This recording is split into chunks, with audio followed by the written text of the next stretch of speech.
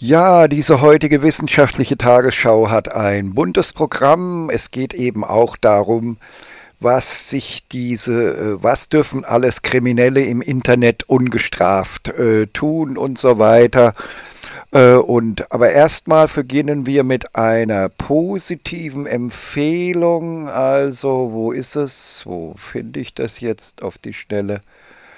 Hier, ich habe gerade äh, zwei Telefonate geführt mit, äh, ja, das könnt ihr jetzt gar nicht richtig sehen, Institut für Sozioökonomie der Universität Duisburg-Essen. Da habe ich mit dem Professor, dem geschäftsführenden Professor und der Geschäftsführerin zwei Telefonate geführt.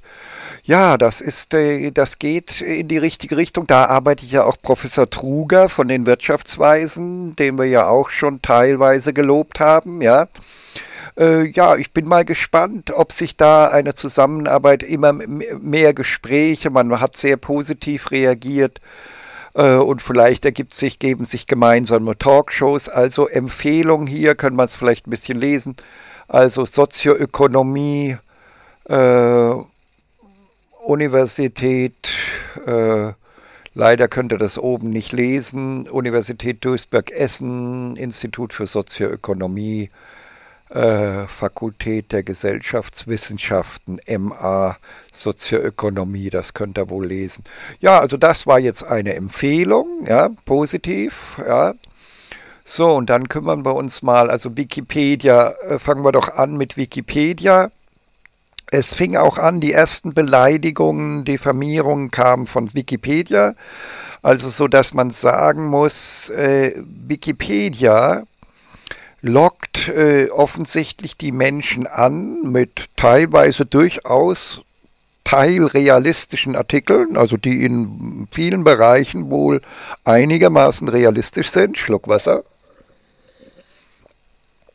um dann aber ihre linksextremistische, verfassungsfeindliche, linkskriminelle eigentliche Agenda durchdrücken zu können. Denn alles, was sozusagen ihnen irgendwie nicht in ihr linkskriminelles, linksradikales, verfassungsfeindliches Konzept passt, wird dann beleidigt und äh, diffamiert, da werden falsche Verdächtigungen und so weiter. Das wird alles zugelassen. Wir diskutieren ja jetzt auch gerade bei Facebook, was darf ein, äh, dürfen äh, sozusagen äh, äh, was dürfen ungestraft Kriminelle im Internet so alles loslassen, sozusagen, ja?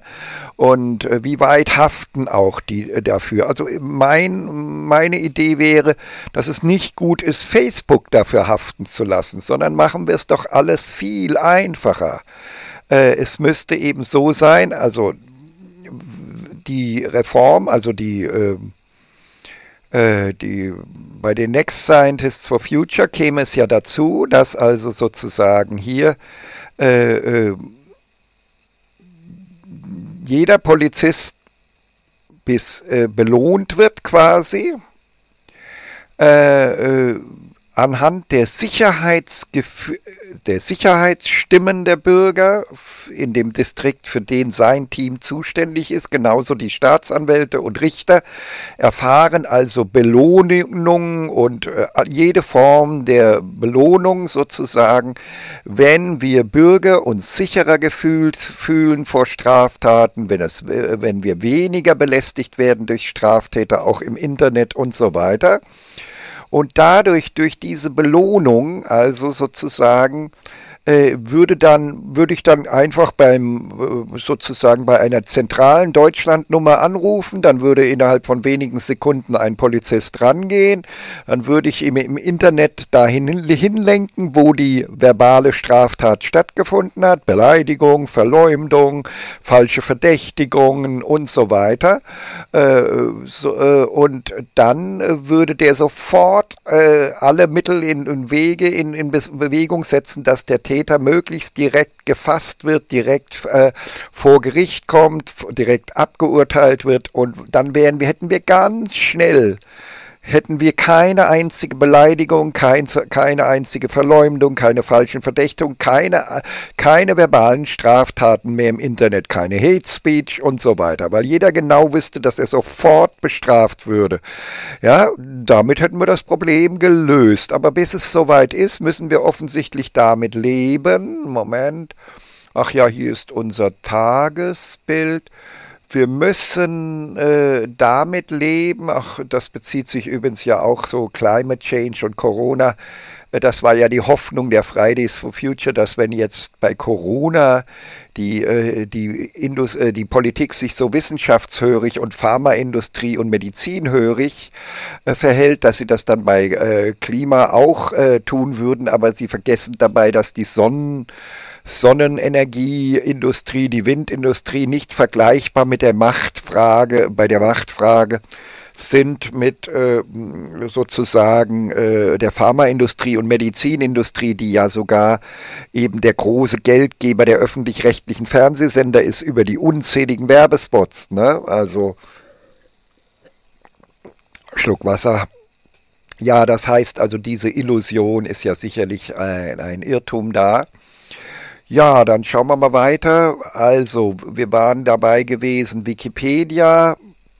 Also äh, sozusagen, äh, äh, für mich ist das eben eine linkskriminelle Sekte, die ein eigenes, äh, äh, ja, ein eigenes Lexikon betreibt um die Menschen anzulocken und dann hinterrücks sozusagen ihre linkskriminelle, verfassungsfeindliche Agenda und Manipulationsagenda sozusagen ausüben zu können. Und dabei dulden sie sozusagen, äh, äh, sozusagen, Sie können ja mal googeln, was Wikipedia, wo, wo, da sind immer noch die Beleidigungen äh, irgendwo zu lesen. Äh, äh, sozusagen, obwohl sie eigentlich uns zugesagt hatten, dass die versteckt würden, ja aber irgendwo sind diese Beleidigungen immer noch zu lesen. Also da äh, alles, was Linksextremisten nicht in den Kram passt, Linkskriminellen nicht in den Kram passt, da duldet man dann jede Form der Straftaten, verbalen Straftaten wie Beleidigungen, Diffamierungen, äh, falschen Verdächtigungen und so weiter. Ja. Und dann hier, wer es sicherlich nicht sehr bös gemeint hat, hier ist Jean Pütz, denn der ist ja an sich gar nicht so unvernünftig sonst. Ja, Sie können kann das Bild leider jetzt schlecht sehen. Ich hätte vielleicht doch alles ein bisschen größer machen müssen heute. Aber äh, da äh, steht also Jean Pütz, Wissenschaftsjournalist, man kennt ihn ja aus dem WDR. Und dann hat er einen Artikel über die Next Scientists for Future und den Weltrat der Weisen gebracht und dann, dann schreibt aber äh, er sowas wie eine Satire. Wer glaubt dran? Bekommt Greta Thunberg den Friedensnobelpreis. So verrückt ist mittlerweile unsere Medienlandschaft. Also sozusagen, das ist so wahrscheinlich gar nicht so bös gemeint, aber es ist ja trotzdem eine indirekte äh, Beleidigung und äh, Diffamierung. Ja, aber wie gesagt, jeder kann im Internet Straftaten begehen, so viel er will. Das ist also sozusagen, wir leben in einem rechtsfreien Raum. Ja, denn hier geht es ja um das sachliche öffentliche Angebot an Fridays for Future, an deren einzige Chance, nämlich den Kohlestopp 26 bekommen zu können. Und das geht eben nur durch eine Kooperation mit Fridays, äh, mit nextscientistforfuture.de. Gut, also Sean Pütz, der hat es bestimmt nicht so bös gemeint, aber trotzdem ist das, also eigentlich müsste es bestraft werden in einem richtigen Rechtsstaat.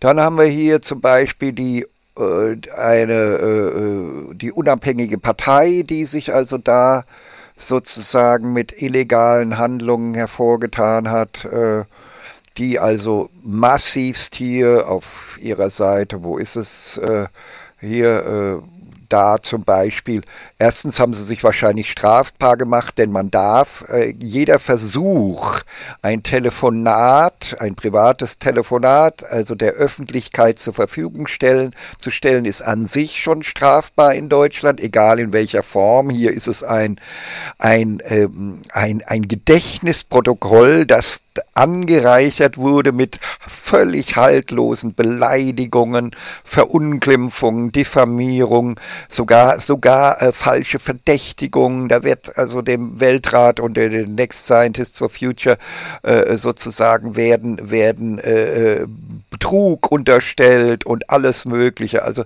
äh, da sieht man also, diese Partei scheint durch und durch kriminell zu sein, ja, also unabhängige Partei und hier Freipartei, der Mitgliederblock für die unabhängige Partei. Schaut euch das an, wie, was Kriminelle alles so im Internet tun dürfen, ungestraft. Na? Dann haben wir hier zum Beispiel das Prostatak-Diskussionsforum, äh, ach so, kann man auch wieder schlecht lesen, weil Gut, äh, äh, sozusagen, aber ich lese es euch ja vor. Prostatakrebs-Diskussionsforum kann man ja googeln, ja. Da hatte irgendjemand äh, äh, äh, so Welt ohne Prostatakrebs durch Reformen des neuen Weltrats der Weisen. Da zeigt sich das, was, was man üblich, übrigens überall in diesen verrückten äh, Foren äh, findet, dass die Leute regelrecht an ihrer Krankheit hängen. Das hängt, das kommt wahrscheinlich daher, dass wenn ein Verwandter sozusagen gestorben ist an einer bestimmten Krebserkrankung, dass man dann lieber das Weltbild haben will, es, es, es bestand auch keine andere Chance, dass die Medizinindustrie diesen Menschen zu Tode operiert hat und umgebracht hat und so weiter, also äh, durch, durch Irrtümer, durch medizinische Irrtümer, durch gewinnbringende Irrtümer. Das darf nicht sein, weil dann könnte ja mein Verwandter noch leben, wenn ich es nicht, nicht so gutgläubig gewesen wäre. Und deswegen wird dann alles beleidigt, diffamiert und verunglimpft, äh, was eben sagt, ja hoppla, durch die 20 Reformen des Weltrates der Weisen hätten wir das Problem gelöst. Ja, ganz kurzer Hinweis hier, wo ist es? Äh, äh, ja, im jetzigen Markt, Markt- und Arbeitsteilungssystem äh, haben wir also sozusagen das Phänomen, dass der Arzt, der die Wahrheit sagt, also sagt, Leute, ihr, äh, wenn ihr Prostatakrebs loswerden wollt, müsst ihr nur naturbelassen leben und euch naturbelassen ernähren, naturbelassen Sport treiben, weniger Salz und so weiter. Und dann äh, macht der Körper das alleine und kriegt das auch von alleine wieder hin. Und hier, dann kommt der Arzt, der Früharzt, der sich irrt und sagt, nein, Prostatakrebs, da müssen wir euch sofort operieren, Chemotherapie, Bestrahlung, was auch immer unsere Giftküche so bereithält und nur so könnt ihr das überleben und dabei sterben. Aber wie sagte Dr. Rüdiger Dahlke letztens, 98 Prozent aller krebsbehandelten Personen sind ein paar Jahre später tot. Mause tot. Das heißt, wir haben es hier mit der Evolution der gewinnbringenden, karrierefördernden und, äh, und äh, vorteilbringenden Irrtümer zu tun, so dass unter Bedingungen des Marktes sich immer gewinnbringende Irrtümer auf Kosten der Bevölkerung ausbreiten und das bedeutet lauter, massenhaft Tote durch die Medizinindustrie und durch die pharmazeutische Industrie. Aber das habe ich ja schon tausendmal hier äh, begründet und aufgezeigt. Ich verweise auf die anderen 530 Internetsendungen. Ne? Dann, äh, was haben wir hier denn noch? Äh, äh ja, was haben wir denn noch Schönes im Angebot? Also das war das Forum äh, Beleidigungen im Prostatakrebsdiskussionsforum, das kann ich dann ja mal wegmachen hier. Dann haben wir hier äh, zum Beispiel, da muss ich euch auch wieder vorlesen, quanten.de, Diskussionsforum, ja, da wird auch wieder auf Teufel komm raus beleidigt, äh, diffamiert, äh, falsche Verdächtigung und so weiter. Ja, weil eben äh, sozusagen äh, jeder Größenwahnsinnige, der irgendwo ein äh, Forum betreibt, kann äh, dann eben alles andere Beleidigungen, was tausendmal kompetenter ist, als was er jemals sein wird oder so, ja. Und dann hier sogar im Tischtennis News Forum, da hat irgendjemand darüber gesprochen, dass wir eben wir neue Gesundheitssportarten brauchen, um die Bevölkerung gesunder zu halten. Das Ding heißt also TT News, Tischtennisforum, TT News. Äh, und äh, da wird dann eben auch munter drauf los beleidigt, äh, dass wir eben, wo es dargestellt wurde, dass wir die Sportart Tischtennis zu einer Gesundheitsvolkssportart umwandeln müssen. Äh, Einsatz mit rechts, Einsatz mit links, also die, die mit Handwechsel, damit sie körperlich ausgeglichener ist und dass wir äh, bestimmte diesen Sport äh, beschädigende Techniken untersagen müssen und so weiter, dass wir also äh, sozusagen eine gesunde. Und ich glaube, das, das war zu finden. Wo ist es zu finden? Ich glaube, über Marktplatz, wenn ich mich nicht recht irre. Dann müsste hier irgendwas sein. Ich weiß nicht, ob das irgendwo noch. Äh, ja, müsste man gucken. Äh, ja, also auf jeden Fall. Na, ich habe es erwähnt. Also auf jeden Fall ist das irgendwo ähm, sozusagen äh, wahrscheinlich, wenn man mal unter Weltrat der Weisen googelt, findet man eben auch dieses Beleidigungsforum, ja, wo ja, ich war gerade dabei, äh, äh sozusagen, habe nochmal das Forum schnell zwischendurch gesucht hier, also untere Ligen und so weiter. Neuer Weltverband, ja, Tischtennis Neuer Weltverband, weil wir ja neu, neue Gesundheitssportarten äh, für ein gesünderes Deutschland und Europa brauchen und so weiter. Ja, und da wird eben, werden Beleidigungen aller Art geduldet und so weiter, Diffamierung, Verleumdung und so weiter. Ja, wie das halt so ist, das ganze Internet voll von Kriminellen. Sigmund Freud hat mal gesagt, dort wo äh, kein Licht hinkommt in der Stadt, da sammelt sich das gesamte dunkle Gesindel der Stadt sozusagen, das ganze Verbrechergesindel und, Sindel, und leider ist das Internet eben leider noch ein dunkler, äh, rechtsfreier Raum, in dem äh, keine wirkliche, ach so, hier, dann, so, dann wollte ich, äh, jetzt stimmt hier was nicht, Moment, ah ja, dann hier zum Beispiel Extinction Rebellion, da wird auf Teufel komm raus, beleidigt, diffamiert, falsche Verdächtigungen, Unterstellungen von vorne bis hinten. Schaut euch das an. Ich glaube, das ist hier in dem, wie heißt es, Unterforum hier. Augenblick, da muss ich mal gucken, wie das hier heißt. Ach so, das, da oben steht es ja, ich lese es euch vor. Offener Brief an Öff Öff äh, offener Brief an Öff Öff und äh, Öff, das wird da oben geschrieben unter der Rubrik allgemeiner Austausch, Ref Reflexion und kritisches Hin. Und da steht offener Brief, Brief an Öff also Ö2F, Leerzeichen Ö2F, Leerzeichen, äh, ja, das ist äh, der, der Titel. Naja gut, das, da findet man, aber ich würde ja, was kann man auch von Extinction Rebellion anderes erwarten? Die nehmen es ja mit der Einhaltung unserer Gesetze sowieso nicht genau. Sie sprechen dann von irgendwie zivilem Ungehorsam und faktisch ist aber gemeint, sind Straftaten, die unsere Bürger schädigen, Verkehrsblockaden, die andere Menschen schädigen und so weiter, mit denen sie sozusagen in antidemokratischer und verfassungswidriger Weise mit Straftaten ihre äh, Vorstellungen Vorstellungen durchsetzen wollen, ja, und so weiter. Ja, gut, also da haben wir es äh, äh, sozusagen. Jetzt gucke ich mal nach, was gibt es denn da noch an alles, an, an, an kriminellen äh, Sachen hier. Äh, Quanten.de hatte ich gezeigt, ja, nee, das war's, glaube ich, was ich jetzt mal so, äh, wenn man also nach Weltrat der Weisen oder Next Scientist for Future, ach so, die Scientist for Future habe ich noch gar nicht erwähnt, ja, äh, da ist es auch so, das könnt ihr euch ja auch mal anschauen, wenn ihr nach ne Weltrat der Weisen googelt, dann findet ihr auch die Beleidigung, wobei das nicht von den Scientist for Future kommt, sondern allein verantwortlich für, für diese Beleidigung ist der Dr. Gregor Hagedorn, der also sozusagen in der Wahnvorstellung lebt, äh, wo ist es, Augenblick, in der Wahnvorstellung lebt, äh, äh, die Bezeichnung For Future sei sein Privateigentum, ja, und äh, äh sozusagen äh, niemand dürfe sich also sozusagen äh, Next Scientist for Future oder zwei, Second Scientist for Future oder zweite oder dritte, vierte, fünfte, sechste, siebte, achte, zehnte Scientist for Future nennen, weil sie sozusagen ja äh, die größten sind und so weiter. Also das ist, äh, schaut euch die Beleidigung und die diffamierende Darstellung und die verunglimpfende Darstellung an.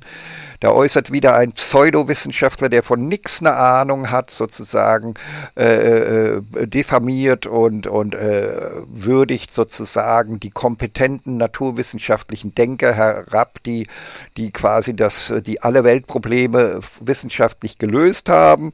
Aber nein, natürlich, Dr. Gregor Hagedorn ist natürlich der Größte und kann beurteilen, was echte Wissenschaft ist. Dabei ist er ein, äh, pseudowissenschaftlich da äh, sozusagen ein ganz kleines Licht. Äh, ja, und wenn man sich nochmal erinnert, mit welcher Hysterie da zum Beispiel die Frau Professor, wie hieß sie da, bei, bei Maybrit Illner da rumgeschrien hat und, und gefragt hat, wir müssen, wir müssen, wir müssen. Ja, die Frage ist, müssen wir wirklich äh, Deutsch, die deutsche Volkswirtschaft ruinieren? Um einen Alleingang zu riskieren, bei dem wir die gesamte deutsche Volkswirtschaft ruinieren? Ja, müssen wir wirklich auf solche Professoren, ich glaube, es war Frau Professor Boetius oder so ähnlich, ähm, müssen wir wirklich auf solche pseudowissenschaftlichen Denker hören, die überhaupt keine Ahnung davon haben, was sie mit ihren, äh, mit ihren Forderungen, was das, äh, was das anrichten würde mit Deutschland und welche Zerstörung äh, da kommen würde. Ja, also wir haben ja den, den Fridays for Future hier angeboten, den Kohlestopp 2026, aber auch nur, weil die Next Scientists for Future halt wissen, da, äh, dass sie ein Wirtschaftswunder erzeugen können, bevor sie das Wagnis eingehen, Teile dieses Wirtschaftswunder äh, Wunders für eine Vorreiterrolle beim Klimaschutz zu verwenden. Aber dieses äh, Gregor Hagedorn hat nicht die geringste Ahnung, wie er ein Wirtschaftswunder erzeugen soll, sondern er würde das aus der Substanz Deutschlands, aus der volkswirtschaftlichen Substanz würde er quasi äh, äh, die Vorreiterrolle beim Klimaschutz äh, finanzieren und damit die deutsche Volkswirtschaft ganz deutlich wesentlich ruinieren. Ja? Zum Glück ist die Politik so vernünftig, dass sie in allen Dingen da auch einen Rückzieher gemacht hat. Denn ohne unser Wirtschaftswunder ist das ein Wagnis, das möglicherweise die deutsche Volkswirtschaft nicht überlebt. Ja?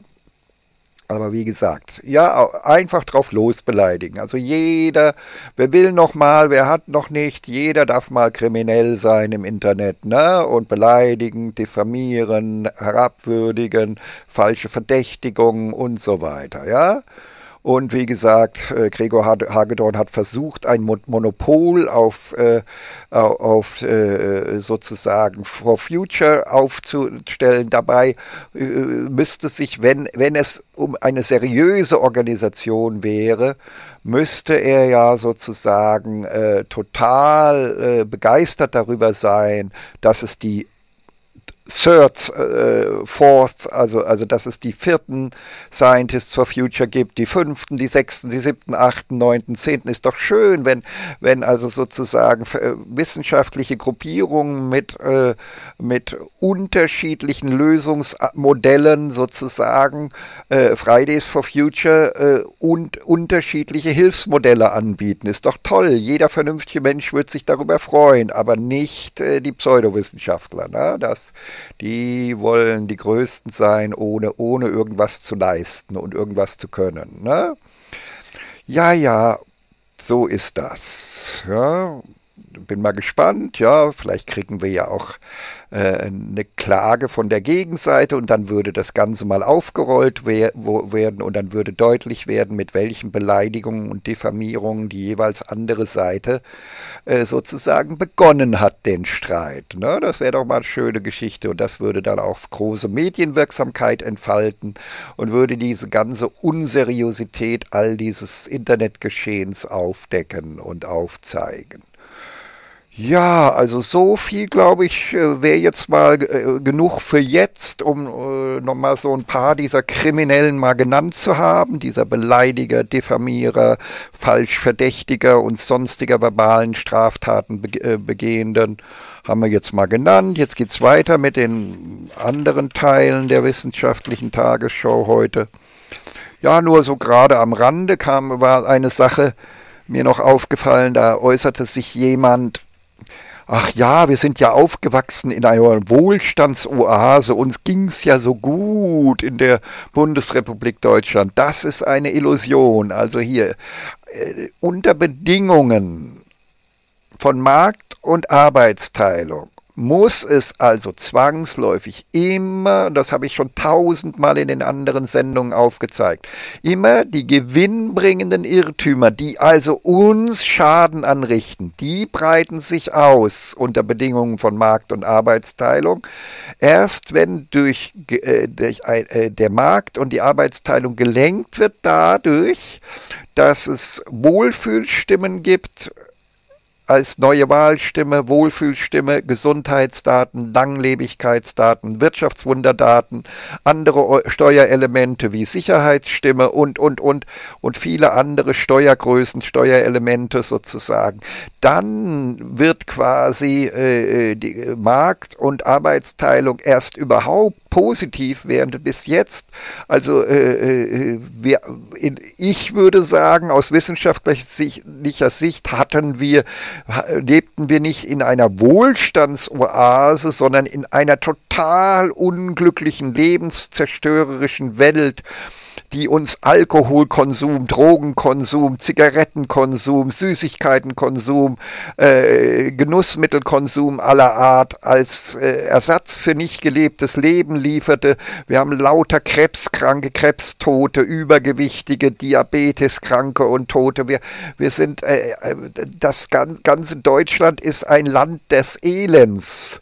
Und da reden die von Wohlstandsoase. Ne? Also, also wie gesagt, schaut euch die anderen Hunderten von Sendungen an. Da wird immer wieder geschildert in Detail, wie äh, das aussieht. Ja, ich, ich erwähne nur mal ganz kurz noch, ja, dieser Früharzt und Frühhändler der Evolution sagte noch die Wahrheit und sagte, toll, dass ihr alle so ein liebevolles Liebesleben habt und die Männer alles den Frauen und Kindern schenken und so weiter. Und dieser äh, Früharzt und Frühhändler irrt sich, also hat wieder einen sich später als gewinnbringend, karrierefördernd und äh, vorteilbringend bringenden Irrtum, sich herausstellenden sozusagen Irrtum hat er sozusagen und sagt, ach, ist das eklig, all das Geschmuse ist ja unkeusch, ist ja unmoralisch, hört auf damit mit diesem ganzen Liebesleben und so weiter.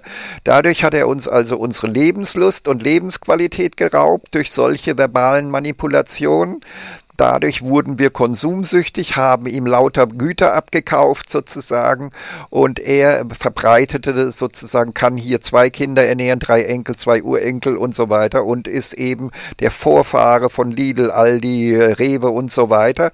Und äh, überall äh, wurde unser Glücksleben zerstört, damit wir konsumsüchtig werden. Ohne böse Absicht. Das läuft einfach still und leise, denn jemand, der an einen gewinnbringenden Irrtum glaubt, hat keine bösen Absichten, sondern das ist äh, automatisch kommt es zur Ausbreitung dieser gewinnbringenden Irrtümer, die uns dann Gehirnwäschen verpassen und dadurch wird unsere Lebensqualität und Lebenslust zerstört, damit wir kauf- und konsumsüchtig werden und reisesüchtig und was auch immer äh, konsumsüchtig werden und äh, dabei zerstören wir natürlich auch dann die ganze Welt, weil wir einen Überkonsum entfalten.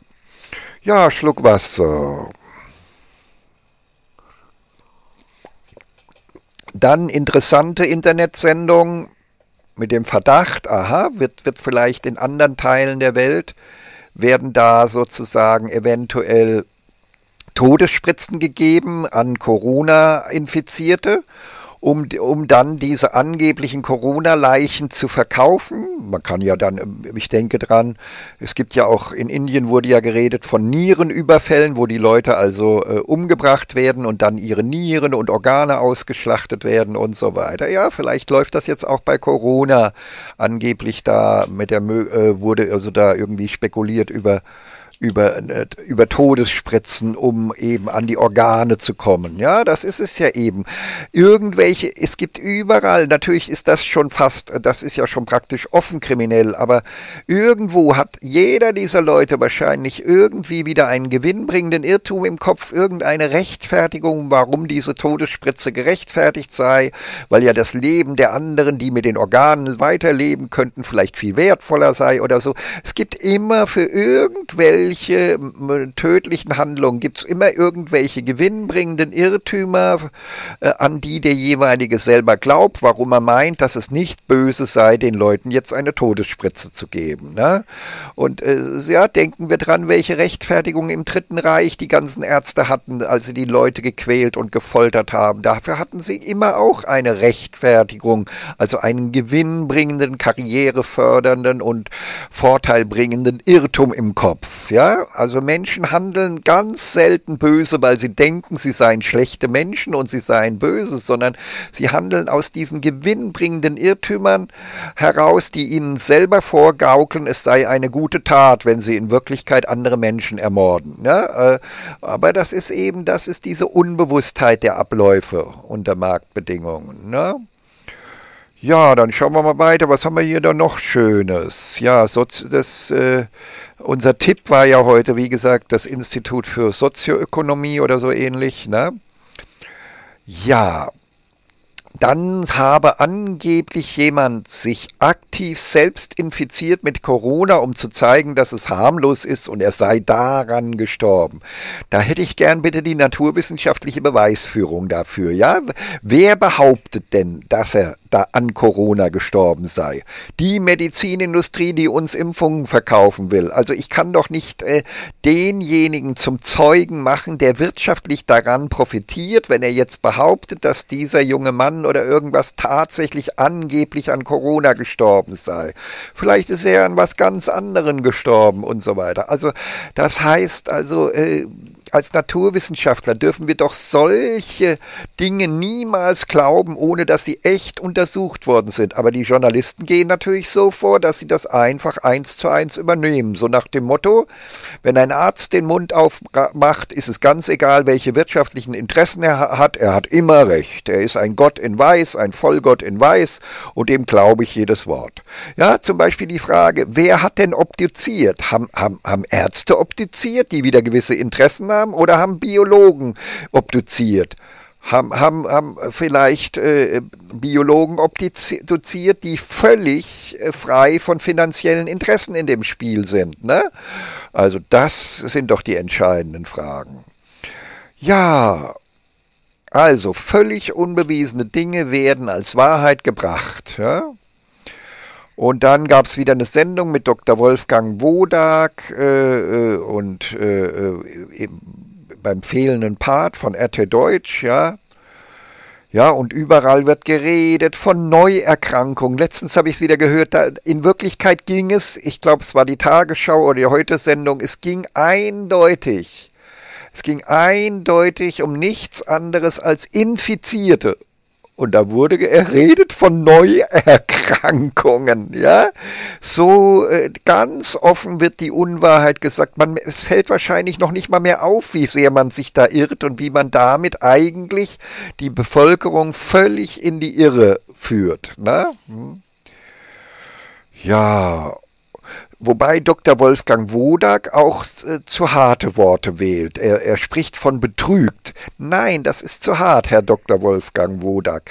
Es läuft eben so, die Leute glauben ihre gewinnbringende Irrtümer. Dr. Wodak, Sie sind ein Ausnahmearzt, der sich von vielen der gewinnbringenden Irrtümer Ihrer Zunft haben sie sich frei gemacht. Aber äh, ihr, ihre Kollegen, die glauben, der Mainstream der Kollegen ist so voll mit seinen gewinnbringenden Irrtümern, dass die wirklich glauben, was die sagen. Es ist, das ist kein ak aktiver, bewusster Betrug.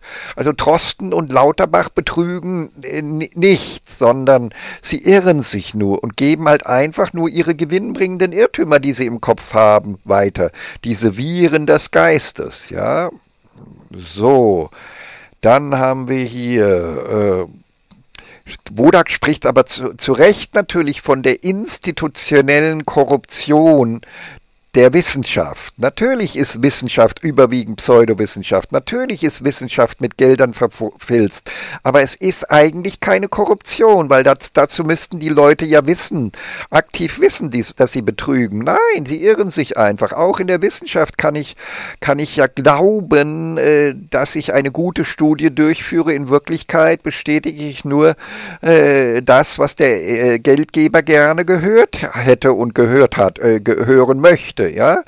Also Wissenschaft ist äh, natürlich mit der Wirtschaft verfilzt. Deswegen reden wir ja auch ständig von Pseudowissenschaft statt Wissenschaft und sagen ja, dass wir mit den Next Scientists for Future wenigstens eine wirklich echte wissenschaftliche Instanz in der Welt haben. Ja, sozusagen natürlich ist Wissenschaft käuflich, aber das sind wahrscheinlich eher unbewusste Prozesse. Ja, das sind nicht bewusste Prozesse.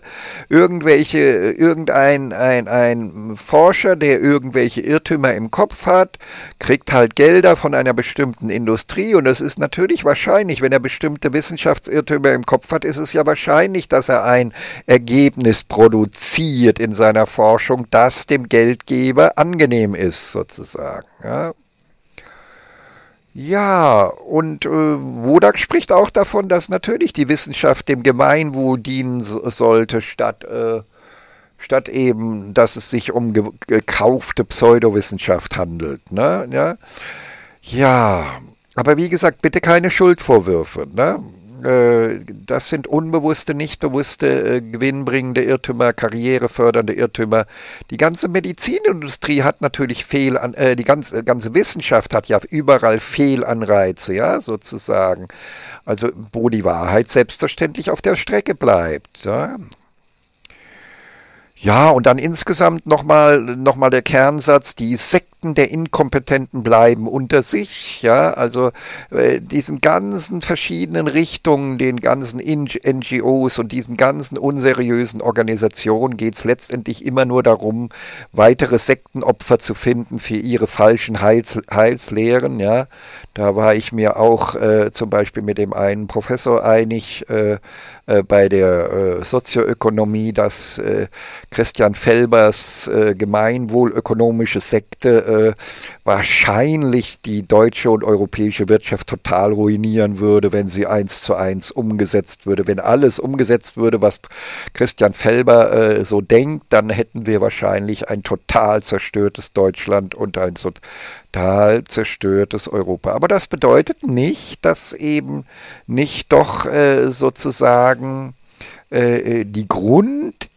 Linie, dass man eine gemeinwohlorientiertere Wirtschaft braucht, ist ja nicht grundsätzlich falsch. Nur alle, alle technischen Umsetzungsaspekte sind grundfalsch. Ja, ja und dann, äh, ja, dann, das hatte ich aber schon genannt mit dieser, mit diesen Parteien. Ja, das, äh, ja, gut das war's bis jetzt. Und jetzt kommt nur noch unser Ab Abspann, äh, unser üblicher Abspann. Wo ist es? Äh, bap, bap, bap. Hier, ja, also die gef äh, gefährlichen Irrtümer. Also hier, diese Seite ist ja gemischt. Das ist einerseits ein Kompliment, weil wir mit diesen Leuten gerne noch diskutieren würden, weil die Zahl ihrer Irrtümer nicht unerträglich groß ist. Und alles, was wir nicht in dieser Liste haben, haben wir entweder nicht drin, weil wir es für be völlig bedeutungslos halten oder weil es so voll Irrtümern ist, dass es wirklich nicht der Rede wert ist. Also ist diese Liste auch irgendwo nicht nur Kritik, sondern auch Kompliment. Ne? So, das war's jetzt mal wieder. Tschüssi, bis bald.